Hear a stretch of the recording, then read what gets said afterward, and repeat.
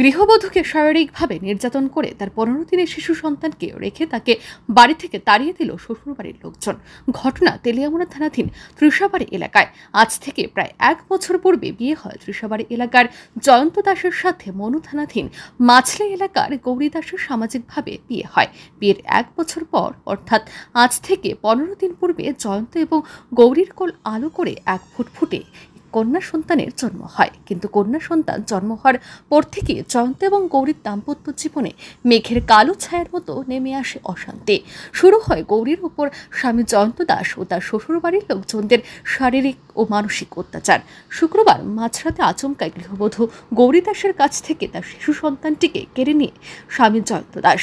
এমনকি ওই গৃহবধূকে মেঝেতে ফেলে প্রচণ্ডভাবে মারধর করে তার স্বামী। সে সকল আঘাতের চিহ্ন ওই গৃহবধূর শরীরে এখনও রয়েছে।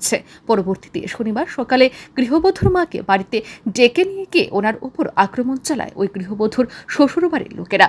মারধর করে ওই গৃহবধূকে বাড়ি থেকে বেরিয়ে যেতে বলে তার শ্বশুর ও স্বামী।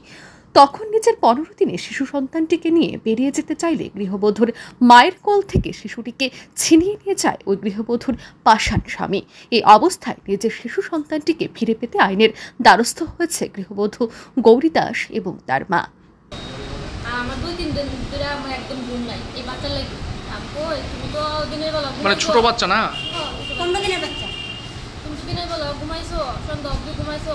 আমার তো ঘুমে জানি শরীর টিকা করতেছে একটু ঘুমাবো আমি ঘুম থেকে উঠতে ফিরে আমি বাচ্চাটা আবার করব একটু তুমি লও না একটু দেখো না। একটু খেলা করো বাচ্চার সাথে আমি একটু ঘুমাই। তাই না লইতো না? তো কোনো মতে বললে আমি বাচ্চা দিছি বাচ্চার বাবার কাছে লইছে লইয়া ফেরা।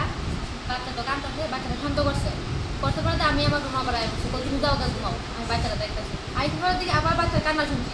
তো কাউকে মনে খাইবার লেগে কান্দতেছে বাচ্চাটা খাওয়াই ফেরা আমি আবার দেবো তুমি দেখাশোনা করো। এরপরে তো আমি একটু ঘুমাইছি তত ঘুমাইছি। মা বাচ্চা দেয় না বাচ্চাটা খাওয়াই দিতাম বাচ্চারা আলগা দুধ খাওয়াই বাচ্চাটা দেয় না বাচ্চাটা দেনা দেনা আমি অনেকভাবে রিকোয়েস্ট করছি দেনা বাচ্চাদের। এরপরের দিকে আমার রুমা ফেরা আমার এইভাবে মারধর করছে। কে মার দূর করছে? আমার স্বামী। আমার বাচ্চার উপর কোনো অধিকার নাই বাচ্চার আমি পারতাম না করতে পারতাম না আমি খুলে নিতে পারতাম না। এসব মানে কথাবার্তা এরপরে তো আমার ফাঁকার মধ্যে ফালাইয়া আমার করছে। আচ্ছা। কেস করতাম না যে আমি আমার বাচ্চা মানে আপনার আপনার বাচ্চা কোথায় এখন? মানে রাইখা দিচ্ছে আপনার বাচ্চা?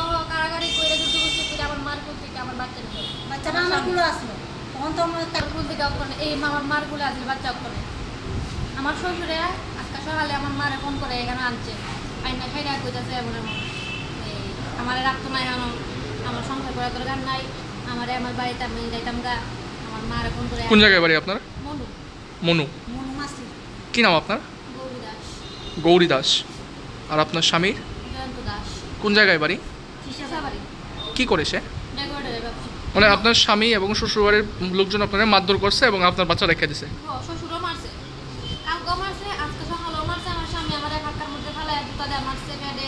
এই মুখে এমন কেউ করে মা আমার শ্বশুর বাড়িতে আমার মারও মারছে রাস্তা আমার স্বামী, আমার শ্বশুর, আমারও মারছে মানে এরা বাপ পুত মিলে আমরা দুজনে মারছে এখন দেখার বিষয়, এক অসহায় মাকে তার সন্তান ফিরিয়ে দিতে কী ভূমিকা গ্রহণ করে প্রশাসন? ভিওর রিপোর্ট, আর এ নিউজ।